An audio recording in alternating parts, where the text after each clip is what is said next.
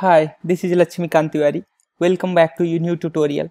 In this tutorial, I am going to show you how you can create a sinusoidal bar graph. Okay, so here I have uh, uh, an example. Okay, so if you open this uh, application, you can see it. Um, you know the dynamically uh, with the animation, it is creating a bar graph. It's a bar graph actually, but in a sinusoidal shape, right?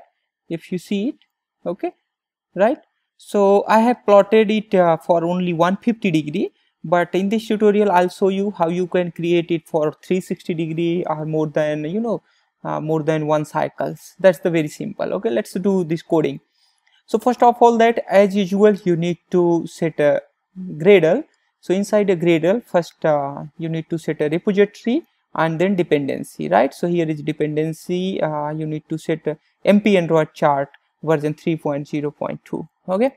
So it's depend on uh, you know the day when you are uh, seeing. So you may you know mp android chart library may get upgraded from version 3 to 4 okay? It's depend on the time. Right so this is done. Now let's sync it. While syncing let's close it. Okay? It will sync into a background. And now we need to come into activity main. Let's get rid of this text view. And uh, let's make it as a linear layout okay we can make it linear relative it doesn't matter here actually. So we need to first create here a bar chart right? So for bar chart let's uh, set its uh, width as a match parent and then a match parent. And then we need to set here a id and uh, let's set this id to a chart one right? So everything is done here. Now let's close this main activity xml also. And uh, then we need to come here and we need to create here a chart object so that can be created using a private and then a bar chart and uh, we can see it as m chart sorry m chart. Okay? And uh, apart from this uh, uh i think uh, uh, almost everything is done here. Now let's come to on create method inside the on create method uh, we need to first uh, you know we need to first get a reference for our uh, chart 1 so that can be get into m chart is equal to a bar chart.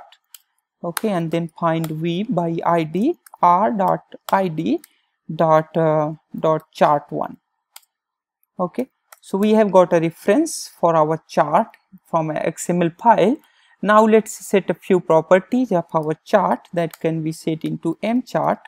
Dot set draw bar shadow. Dot uh, set draw bar shadow. Make it false. That's mean we don't need bar shadow. And then m chart dot set draw value above bar. Okay set draw value above bar. Make it false. That's mean there would not be any value above this bar. Okay so apart from this we need to set mchart dot get description dot set enable and make it also false. Okay.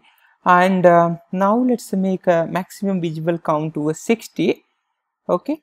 So what we can do here uh, uh, okay leave that uh, visible counts and pinch zoom etc leave. We don't need those uh, things. Now let's uh, set m chart dot set draw grid background to false. Set draw grid background to false. Okay. And apart from this let's uh, create a method for uh, setting this data. Okay. So we can create a method here using a private and then a uh, set data.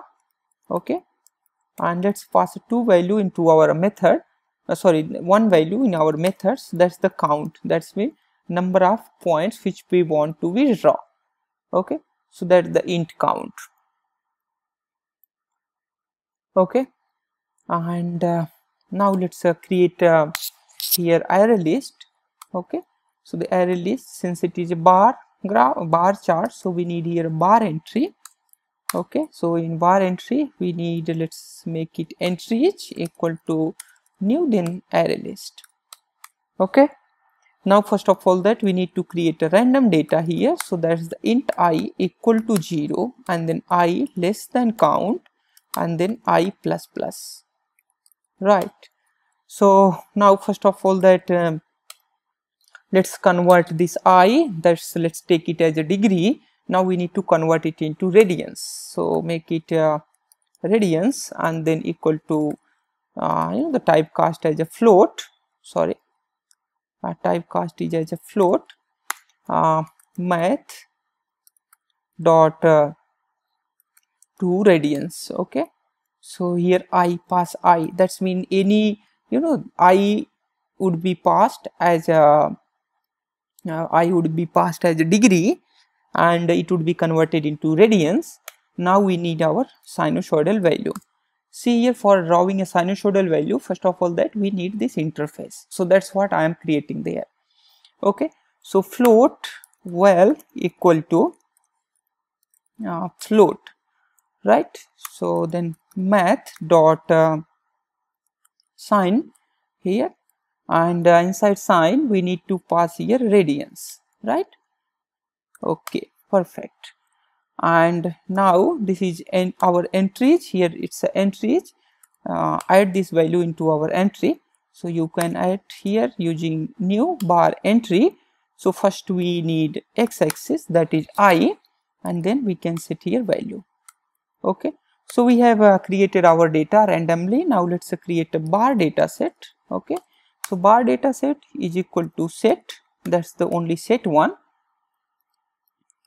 and uh, now we need to create our you know uh, set here. So set equal to uh, new. Of course there would be a bar data set. And now we need to pass here our entries and let's give its label. There's a sinus uh, sinus bar chart. Okay. Now set uh, set dot set color. Uh, i would like to set some color uh, here. So let's set that uh, cyan color. Okay. Uh, what we can do here? Uh, color dot. There are a lot of colors. Any any color you can set. Let's set it magenta color. Okay. So i love this magenta. Now let's create a bar data. So we have created bar data set. Now we need to create a bar data. That's very simple. Bar data data equal to you know a new bar data a new bar data and we need to pass here a set. Okay? Perfect. So we have created our bar data. Now let's set few uh, you know the properties of this bar data. So first of all that set values uh, text size. First of all that we need to set text uh, values size. Uh, sorry. Uh, i think we don't need text uh, value size. So let's okay. So let's uh, you know don't, don't don't write that.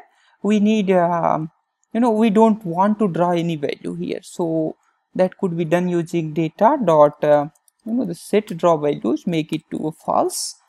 And uh, then let's make a bar width to 0.8 okay?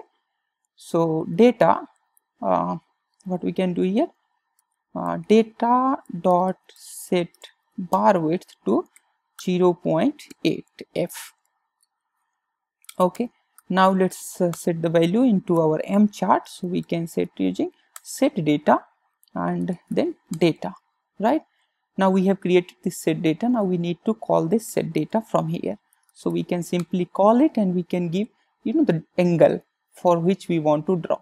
So let's first give a 180 degree okay? No let's give it 360 degree. Okay?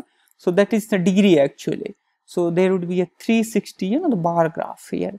So that would complete here a full sinusoidal functions. If you see here i have created a value here.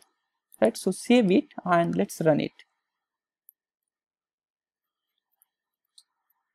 In meantime uh, i would like to tell few more things. Uh, we can also uh, set our axis etc here. Okay? As i have set uh, i have already set it into our example right? So it's installing application. Just wait for few seconds. It will install and show you into magenta color. Earlier it was a little bit red color but now i have set it into magenta color. While it is uh, while it is uh, installing these applications uh, we can make few changes okay? Yes it has done right? See here it's a beautiful right? Don't you think here? If you you know see here it's a bar chart you know a bar chart into a sinusoidal function right? It's a beautiful actually. Now what i can do uh, we can make it you know the fully filled color. So if we change this um, uh, 0.8 to let's make it directly 1 okay? So if you make it 1 then you can see here it will be completely filled okay it's installing. Just wait for yes. See here how beautiful is this one. It's a completely fill okay? See? Now even uh, uh, if we change it to 2 multiplied by 360 that's the 2 time okay? That's the 2 time